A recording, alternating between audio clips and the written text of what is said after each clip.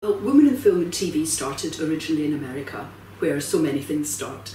And there was a woman in America who decided to come back to the UK, and she thought, why is there not an organisation for women here? I'll set up, because that's what women do. So 27 years ago, she called together a group of women to have lunch, and from there it just grew and expanded.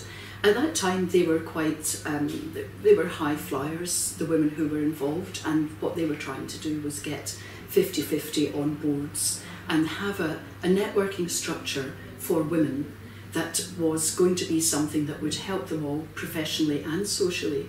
And at that time, people were saying, well, why do we need a, special thing for women? You know, why don't we need a special thing for men to network? And the answer was, oh, but there is a special place for men to network. It's called the industry.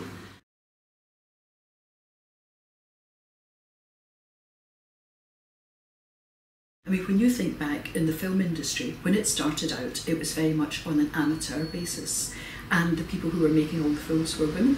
They were making the very first narrative films ever.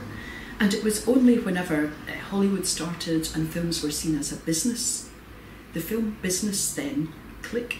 That's where men started to take over, and the, the women who had been producing then became the script girls, the secretaries, the casting people, and so forth. Um, and I think that's a big cultural thing about women being seen as the nurturers and looking after everybody, but the men making the decisions and the men being in charge of the money. And it's something that has been a culture that's developed over a very long time. And it is now beginning to change, but it's quite shocking to me that it's taken so long. We've never had a woman director general of the BBC. That would be understandable if a quarter of the population were women but the majority of the population are women. And we've got all these women now, more women coming through university. I think um, a lot of our, if you look in television, a lot of the great war correspondents are women, from Kate Adie to Lise Doucet and all the rest of it. When women are given the chance, they are absolutely fantastic. Now, until recently, women weren't allowed to fight on the front line of battle, and yet people like Kate Adie and Lise Doucet and all the others, they were right in there in the middle.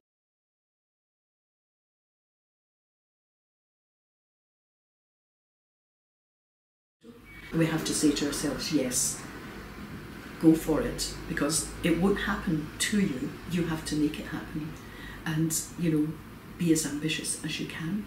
Um, you know, there are lots of women doing amazing jobs, and one of the things that we do here is we try to bring them in to talk to people about it. Um, now, I think I don't actually want to put people off. I think this is one of the best businesses in the world and the best thing that you could possibly do. But you have to actually not just um, go with the flow and allow things to happen. You really have to be quite focused. As if your life's a story and you're going to do a summary of where you want to go. And, and there are always people who will help. You know, there are always people who've been there before you. And, you know, if you go to them, offer them a coffee or whatever and have a chat. And then in turn, you must do that too. Because that's the only way it's going to work.